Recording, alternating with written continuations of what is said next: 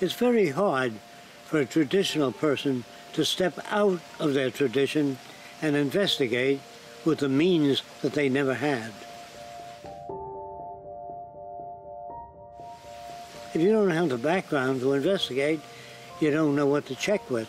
You check with another metaphysician, and he's bound to sing your song. So say, I agree completely with you. You don't say, do you have evidence to support that point of view?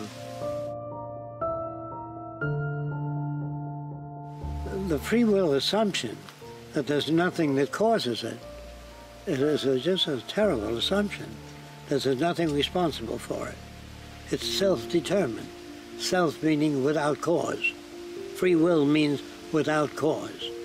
Try thinking of something without an influence.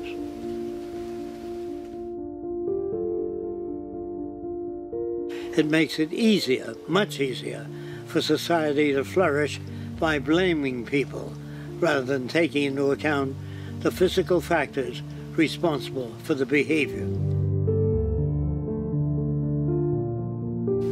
And if you don't know what the cause is, the greatest thing you can do is say, I don't know. I'm going to try to look into it. But how do you look into it? There are laws that govern how you look into it. Are you going to study those laws, or are you going to look into it with the old value system? The old value system will reveal nothing. People are not that precise in their language. Say, what do you want? I want access to the necessities of life. They can't say that. They've never been taught that.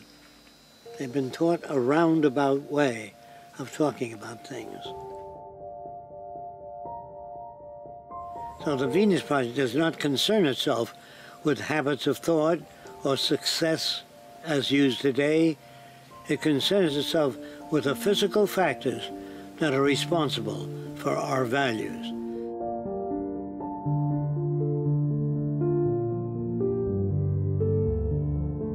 You have to be, this is what you must use, ruthlessly honest.